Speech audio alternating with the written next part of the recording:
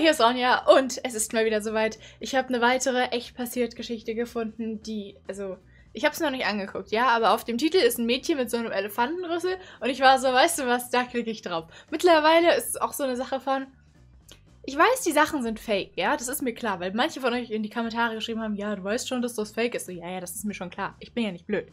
Aber es ist trotzdem irgendwie echt witzig, sich anzugucken und ich bin nicht ashamed. Wir gucken uns das weiter an und ich hoffe, ihr guckt weiter mit. Der Titel von dieser Folge ist Meine Mutter macht sich über mich lustig. Ihr Grund hat mich schockiert. Falls ihr die letzte Folge von Echt Passiert, by the way, noch nicht gesehen habt, verlinke ich euch die wie immer hier oben beim i. Dann könnt ihr euch die angucken. Ansonsten ist die bestimmt auch noch meine Endcard. Und dann fangen wir an mit dem Video. Hi, ich bin Rosi und ich habe eine Spürnase. Damit habe ich das Geheimnis meiner Mutter gelüftet und meine Familie also, verändert. Ich dachte, sie meint einfach ihre große Nase.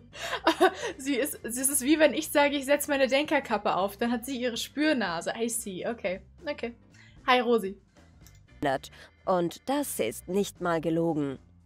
Okay. Weißt du, meine Nase ist nämlich ziemlich groß und. Ah ja, okay, jetzt, jetzt kommt's raus. Ne, jetzt ist die Nase ist auf einmal ziemlich groß. Ah, don't say. mich echt dafür geschämt. Okay. Eigentlich eher, weil meine Mutter ständig etwas über sie gesagt hat. Hm. Rosi, du solltest dir eine Frisur schneiden lassen, die deine Nase bedeckt.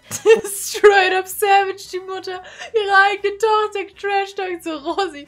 Leider bist du echt hässlich. Wie wär's? Lange Haare, großer Pony vorne. Ah, wäre das eine Idee für dich? So schön? Oder heute sieht deine Nase besonders groß aus. Natürlich hat sie auch allgemein viel über mein Äußeres hergezogen, aber meine Nase Ist war ihr Rosi, äh, sie, sie ist über deine Nase hergezogen, ja? Das ist äh, deutsche Sprache. Lieblingsthema. Das Mhm. Schlimmste daran war, dass meine Mutter verdammt hübsch ist. Sie könnte auf dem Cover der Cosmopolitan sein. Ich habe Typische mich nie Geste. gegen sie gewehrt, aber immer wenn sie sich über mich lustig machte, Darf bin ich ich kurz in mal anmerken, wie enthusiastisch dieser Hund ihr die ganze Zeit hinterher räu- läuft und die ganze Zeit so ist, ist mit seinem Schwanz wackelt? Super cute. Zimmer und habe irgendetwas zerstört. Meine Kleider zerrissen oder einen Stift zerbrochen oder so. Warte, was? Ich habe angefangen, Photoshop und verschiedene Apps zu benutzen, um meine Nase auf Fotos kleiner aussehen zu lassen, bevor Aha. ich sie auf Instagram poste. Zuvor habe ich noch nie was online gepostet. 500 Anhänger, aber mit drei Fotos. Rosi läuft bei dir. Die Leute haben echt positiv reagiert und mir Komplimente gegeben. Ich wusste, das bin nicht wirklich ich, Mhm. aber es hat sich trotzdem gut angefühlt. Sogar ein Junge aus einer anderen Schule, Tyler, Uh. fing an mit mir zu schreiben und ich mochte ihn wirklich gern. Uh, Tyler und Rosi. Er mochte mich auch und wir hatten ein Date. Ich war nervös, Oh, weil oh. er meine echte Nase sehen würde. Okay, das, wisst ihr was? Wenn jetzt sie in der aktuellen Zeit leben würde, gar kein Problem. Gesichtsmaske, die Sache läuft. Er merkt es erst nach einigen Monaten und dann ist es ihm hoffentlich. Hm, das Date war ziemlich unangenehm und am Ende sagte Tyler, du siehst anders aus als auf deinen Fotos. Uh, ouch. Ah, das muss, das muss wehtun. Das ist unangenehm, sowas. oh no, I'm so sorry. Das, äh, okay, mittlerweile, also, hm, das tut, das tut einem leid. Ich meine, bis dahin kann die Geschichte ja wirklich so passiert sein. Das ist jetzt ja noch nicht so an den Haaren herbeigezogen. Das ist einfach nur sad. I'm so sorry. Das hat mich getroffen. Oh. Und ich sagte Dinge wie, wenn du mich nicht wiedersehen willst, sag es einfach und verschwende nicht meine Zeit. Ich, ey, muss man jetzt auch nicht eine kleine Bi sein, ne? Kann man auch einfach sagen, hey, ja, ich weiß, ich habe hier eine, eine Situation im Gesicht zentral, aber ähm, die habe ich kleiner gemacht, Fotos. Aber hey, kein Ding, Mann. Ich verstehe, wenn du nicht gecatfischt werden möchtest. Das ist fair enough. Tyler war schockiert und meinte, also, ich mag dich wirklich mehr als auf deinen Fotos. Du siehst echter aus, aber wenn du so unhöflich bist, will ich dich nicht nochmal treffen. Ja. Rosi, selber schuld. Ich habe mich sofort entschuldigt und versprochen, dass ich sowas nie wieder sagen würde. Dadurch habe ich realisiert, dass meine Nase eigentlich okay ist und ich sie nur wegen meiner Mutter hässlich finde. Also habe ich ein paar Bilder ohne Photoshop gepostet. Ich hatte echt Schiss. Aber es hat sich nichts verändert. Hm, Die Leute haben nach wie vor positiv darauf reagiert. Ich habe ein bisschen mehr Selbstbewusstsein bekommen. Okay. Meine Mutter hat das schnell gemerkt und das hat ihr überhaupt nicht gefallen. Was für eine miese Mutter. Sie ist einfach nur so, ja, meine Tochter, ich muss sie fertig machen. Ihre Nase, okay, ihre Nase ist groß, da fangen wir an. Und dann, ah, okay, Nase stört sie nicht mehr. Ihre pinken Haare, Mann, die müssen ab. Als nächstes. Ich sag's euch, das kommt. Sie hat mich nur noch mehr fertig gemacht. Davor habe ich ja immer was in meinem Zimmer kaputt gemacht, aber dieses Mal habe ich laut zurückgeschossen. Sorry, Okay. dass ich nicht so perfekt bin wie du. Lass mich mein Leben leben und hör auf mit mir zu sprechen. Hör auf, mit mir zu sprechen. Uh, Rosi, der hast du's gezeigt. Meine Mutter hat das voll aufgeregt. Ich glaube, sie wollte weinen, aber sie wollte es nicht zeigen. Dann war Funkstille. Sogar mein Vater hat das bemerkt und das, obwohl er Vater kommt casually reingeslidet auf seinem Stuhl. Jo. eigentlich den ganzen Tag arbeitet. Er hat sich mit mir hingesetzt und mir alte Fotos von meiner Mutter gezeigt.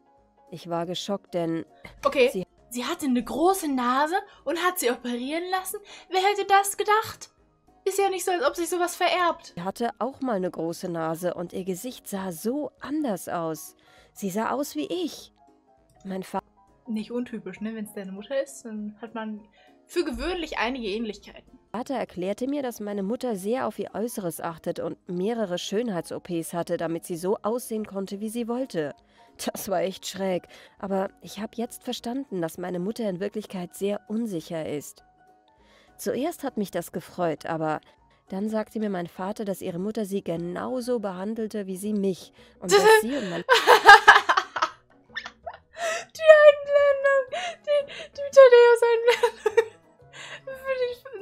Okay, fair Vater sich deswegen oft gestritten haben. Meine Mutter tat mir echt leid. Deshalb Okay. kam Oma also nur einmal im Jahr zu uns. Meine Mutter und ich fingen an, mehr miteinander zu sprechen und ich Okay. fragte sie über ihre Schönheits-OPs und wie sie sich jetzt damit fühlen würde. Zuerst hat sie blockiert, aber nach und nach öffnete sie sich. Okay. Irgendwann hörte sie sogar auf, schlecht über meine Nase zu reden. Das, Letztendlich das ist fair enough, so far. Also, das ist okay. konnte sie sich immer noch nicht im Spiegel angucken, ohne zu weinen. Ich muss schon sagen, dass es viel leichter geworden ist, mit meiner Mutter zu reden, bis uns ihre Mutter besuchte. Oh oh. Eigentlich kommt sie nur einmal im Jahr für eine Woche oder so. Ich habe das davor noch nie bemerkt, aber ihre Mutter hat sie für jede kleine Lappalie kritisiert oder ständig etwas über ihr Äußeres gesagt.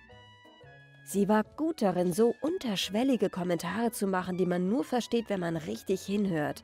Aber das tat ich. Oh oh. Währenddessen fing auch meine Mutter an, wieder fiese Sachen über mich zu sagen. Das hat sie nicht mal Elefant, mitgekriegt. Schweinchen, der Schweinchen wird vom Hund gejagt. Man kennt der Klassiker. Vater blieb auch länger auf der Arbeit, um Oma aus dem Weg zu gehen. Dann- Warum ladet ihr sie denn dann überhaupt so lange ein? Also, wenn, wenn der Vater jetzt mehrere Tage gefühlt auf der Arbeit länger bleiben muss, das ist doch mehr so ein, hey, dann kommt die Oma für ein, zwei Tage vorbei und dann, dann hat sich das wieder, oder nicht? wir in ein nobles Restaurant essen. Und Mann, das war nervig. Meine Eltern konnten nicht ein Wort sagen, weil Oma sich ständig beschwert hat.